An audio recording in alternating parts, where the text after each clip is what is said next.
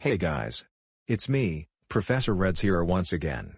I'm going to talk about Pink Cute Girl, aka Media Lovely Dream Video Maker 359 is a sock puppet.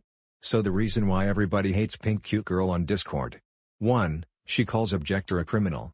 2. She exposes Objecter. 3. She made Donutter and Nailier close their Discord accounts. 4. She's using a sock puppet account. 5. She made Glowier gets angry at me to cause a drama on Discord. And last but not least, she forced everyone to hate Objecter on Discord. And Pink Cute Girl, if you are watching this, I'm absolutely done with you because you made Objecter close Stone Utter and Nailier's Discord accounts and calling Objecter a criminal. I'm now unsubscribing and blocking you and I now hate you forever. And guess what?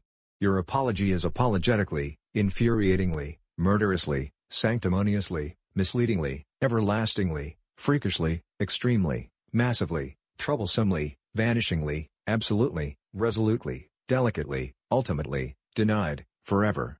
And you are not invited to my birthday because you are a sock puppet, criminal, and malefactor. And if you still like her, then please don't trust her because she's a sock puppet. Well anyways, that's all I have to say about Pink Cute Girl as a sock puppet. Until then, this is Professor Red, also known as Professor Red Windows 10 Everlasting Logo Affixer 325, signing off, over and out. Peace out, see you later, and have a nice day.